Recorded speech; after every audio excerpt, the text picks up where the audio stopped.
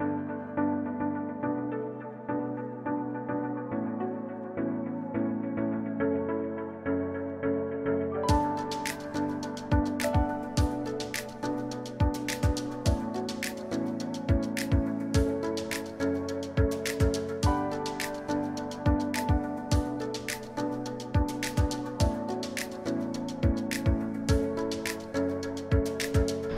van olyan, hogy élmény bringázás, akkor ez most az.